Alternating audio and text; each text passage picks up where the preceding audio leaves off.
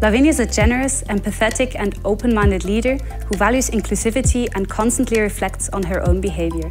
She finds the time to bring women from underdeveloped countries to ETH, actively fights against discrimination, and finds the time to organise workshops on gender equality. Hi, Lavinia. Good morning, Andrea. Do you have time? Yes, I have time now. Lavinia has created a group where everyone can feel respected and safe.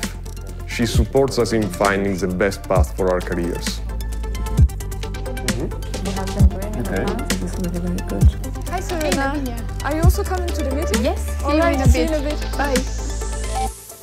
I had to find a new supervisor after one year of PhD, and I was extremely lucky to find Lavinia. She welcomed me into her group, and I could find my love for research again. It's if you define things the way you're saying, but it's like turn the other way. Same thing. Hey guys, it's time for a break. Lavinia turns work-life balance from a catchphrase into reality. She encourages us to take breaks, vacations, and enjoy the free time with our loved ones. So you have a stochastic country background which is detected by Lisa, or here we're simulating first. Lavinia recognizes the importance of balancing professional and personal life and supports us with flexible working arrangements that enable us to maximize time with our families. When you have this red Lavinia is always ready to support us.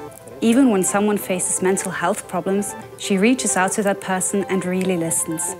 In these conversations, she often finds creative solutions that are tailored to our individual needs. Todos que tiene uno en la cabeza. What are you doing, Francesco? Do you need help?